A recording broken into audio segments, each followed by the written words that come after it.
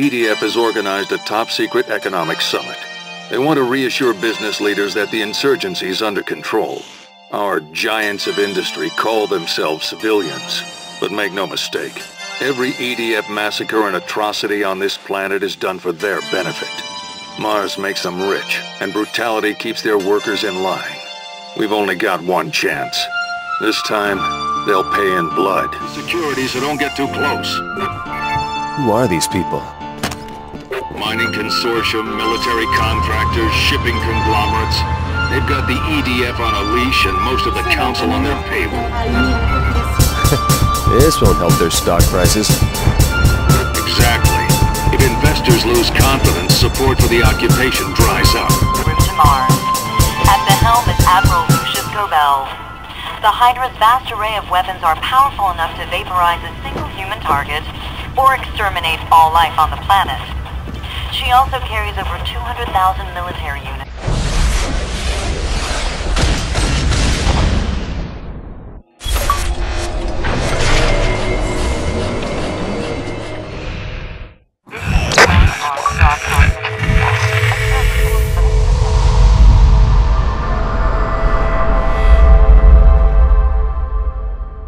Check your map for the location. The building's under heavy security, so don't get too close. Who are these people? Mining consortium, military contractors, shipping conglomerates. They've got the EDF on a leash and most of the council on their payroll. this won't help their stock prices. Exactly. If investors lose confidence, support for the occupation dries up. How many guests at this party? Enough to make it interesting. These men keep Mars in chains. Every time the EDF fires on a worker rally or drives people off their land, it's done for the benefit of these corporations. They'll kill anyone who gets between them and their profits.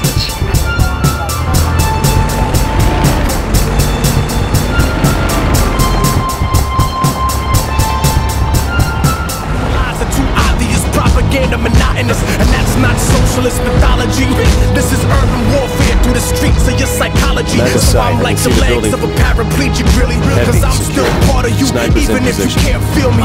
You can never debate me, the M4's a debate like troops of gats in Iraq do daily. So you can marginalize the way you portray me. But don't get Hollywood and try to play me. We can shoot it down the 80s,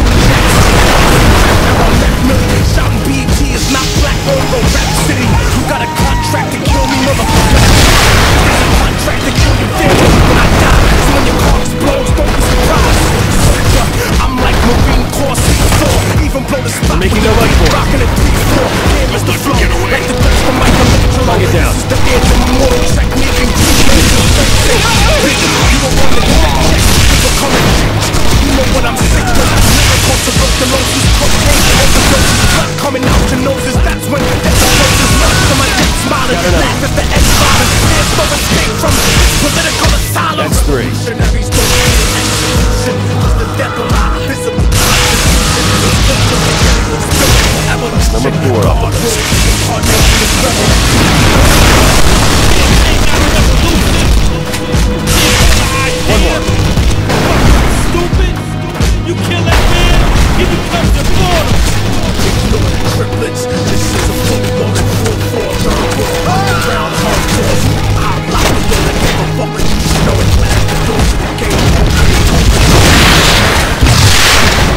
the last of them. All targets are down. These men have paid for their greed.